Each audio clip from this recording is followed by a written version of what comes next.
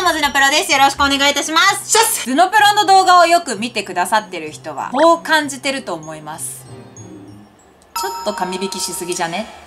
ぼちぼちやらせに拍車がかかってきてるよ というわけで、本日はやらせを逆にしようかなって思ったんだけど、まあ何があったかっていうとね、そうですねこの動画、テイク2です。はい悲しいことにね、データが飛んじゃって、銀玉のくじをね、引いて、それをこんなの引けたよっていう紹介する動画を撮ったんだけど、なかなか面白い結果になったのに、まあ、テイク2になってしまったと。いや僕の初見のリアクションはもう永遠に地球の世界で私しか楽しめないってことを。てなわけで、今回は素直に紹介する動画にしようかなって。まあたまにはいいんじゃない？うん、そうだよね。じゃじゃんこちらになります。えー、ちっちゃいなんで素直なさ、初見リアクションすんの？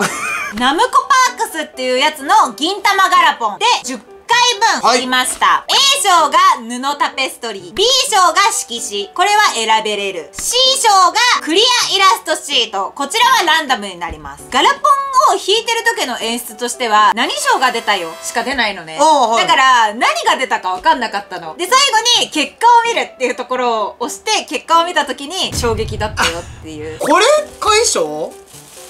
だったら訴えていいと思うよ。10回引いて、さすがに A 賞か B 賞はあるはずだよね。とある賞のとあるキャラクターが4枚出ました。逆にみんななんだと思うって話よねそうだね。まず、坂田銀時。うんこれは私が世界で一番愛してる男。世界中が壊れたとしても彼だけが生きてれば私はそれでいい。二度とエーペックスができない体になってもそれでいい。っそれはダメじゃない？て思ってる。失望したわ 二つ目が、土方藤四郎。銀ちゃんの、まあ、ライバル的な感じの立ち位置にいるキャラで、めちゃめちゃ女性人気が高い。うん途中でね、初恋の人が出てくるっていうストーリーがあったんだけど、その時ね、結構、土方推しの人は、ちょっと、こうなってて、え？私はそれを見て、今後出ないよね、今後出ないよね、っていう恐怖に襲われながら最初話まで迎えた。なるほどねうんで、次、沖田総合。これ私の銀玉の中で10番目に好きなキャラクターですね。1位から9番が銀時なんで。可愛い男の子見た目はそうだけどでも中身はちょっと可愛いじゃ済まされんようなそうね。銀ちゃんとのコンビがド S コンビって言われてるんだけど。言われたのね超好き。桂小太郎。うんこれは髪の毛が長い変な人。うん高杉晋介。あーねこの男ね、マジで女性人気高すぎっていうイメージ。あの、高すぎねなんだなんだ銀時の宿命の相手ではあるんだけど、旧友だよね。最初の方で結構出てくるんだけど、全然本編に関わってこないのよ。ギャグ界とかに。だから、高杉人気だけど、私は魅力がわかんなかったの。うんでもさすがに最終回まで見たら、これはだってかっこいいじゃん。ってなるタイプのね、男だね。そうですねそして最後はカムイ。これはかぐらちゃんのお兄ちゃんで、可愛すぎるかなそうだね、うん最近で言うとマイキー好きな人とかが好きになりそういや、私マイキー見た時めっちゃカムイに感じたも。なんそれねうん。いっぱい食べるしのんびり屋だしみたいな笑顔で人殴るみたいそなう。みたいな感じですね。はい会場がいっぱい当たるのであれば、坂田銀時が1枚多くあると思うんだけど、ポタちゃんは結果を知らない前提で誰が一番多いと思う？むずいこと聞くねいや僕が一番多いと思ってたんは桂かなあー、桂ね。うんやっぱ桂って結構作はいはいはい。作品内でもいじられキャラだから、うんうんそういう風にこのドヤ顔でたくさん出てきてくれんかなって私がランダム系を引くと、この桂っていう男はめちゃめちゃ出るので、まあ、可能性はあるよね。私は、結果を見ずに自分が誰一番多く当たるのかなって考えた時に、まあこの人だね。銀時は自引きできないけど、銀時の QU めちゃめちゃ引くんだよねえ。でもなんかさこの高杉さ邪気抜けてない顔から見て、眼帯つけてないのよ。え？だから、最後の方の高杉なのよ。そうなんですか？てなわけで、めちゃめちゃ解消を引いたんですけども、今カツオゆかりときましたよ。次、これね。はい。あすき焼き。お皿顔誇張されてないみんな。プリクラで撮ったこれ。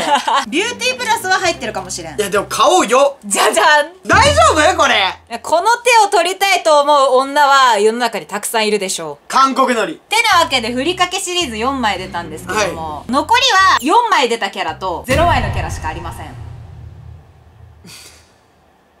それはもう YouTube 的に坂田さんゼロ見たいです。私は見たくないよ。10回中、クリアイラストシート、9枚です。僕を見習ってください。はい。本当に。心にを生やします。はい。こちらはかぶりですね。そうなんだ。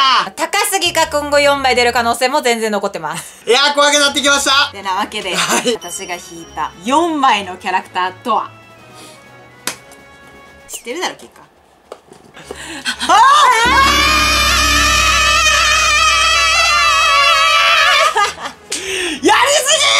最近のゼノプロやりすぎですちょっと。選べる一番くじとかで解消全部推しにしてくるやつじゃんそれは。でも選べるだったら高杉2枚じゃなくて可愛い1枚にするし。私は解消しか引けなかったけど運命で銀時を引き当てました。いやでもこれさワンチャン上位賞引くよりすごくない？えそうだよ。ねすごくない ?1 枚ずつ当てとるんもすごいけどさこんだけ銀時に偏るんすごくない？え。銀さん人気だから多めに入れとこうぐらいの勢いじゃない？いや違うくなあい違うか、運命か。ダメだよね。言い直して。運命です。すごい上手。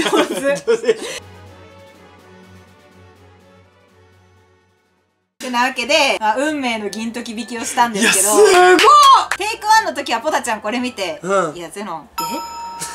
え？え解消しか出とらんやん。僕見習ってえそれで喜んでる?」みたいなテンションでちょっと空気悪くなった。言いたいんだけどさ最近の銀時マジ死んだ魚の目じゃないよね。いろいろなしがらみから立たれて目がね死んだ魚の目じゃなくなりましたよみたいなのはあるのかもしんないけど、それにしても最近ちょっと解釈不一致なレベルで目がキラキラかなっていうところはある。どう思う？こいやーほんと運命だなとは思うねここまで来ると。でも残り1個はここまで解消引いたんだったら A 賞の布ポスだよね。ええ。もちろんそうだよ。布ポス引けてなかったらマジ何って感じだもん。本当にそう、ん。本当に。パンチしたくなる。だよね。まあ段ボールの大きさを見ていただければわかると思うけどさすがにこれ色紙の入るサイズじゃないから布ポスを畳んで入っているんですよこちら今のところ私の中では紙引きなんですよ、うんうん。じゃあ最後の1個何が出るかって話ですよね。次の賞は選べるんですか？選べれました。エレベレめして。記憶の中では、はい。いいですか？はい。というわけで最後の一つこちらになります。知っとるだろお前結果何を祈っとるんよ。変わらんのよ結果は。運命に抗おうとしとる人の上で運命を変えてる人がいたらいくら抗っても変えられないっていうのは 日暮らしの泣く頃に卒で分かったはず。そうだね。でうちらはここな。ここが誰かおまたそうやってんのね、うん。もそうだよ。サイトに。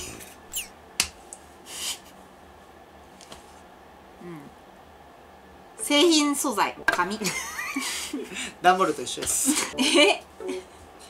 でもうん。10枚じゃなくてよかったね解消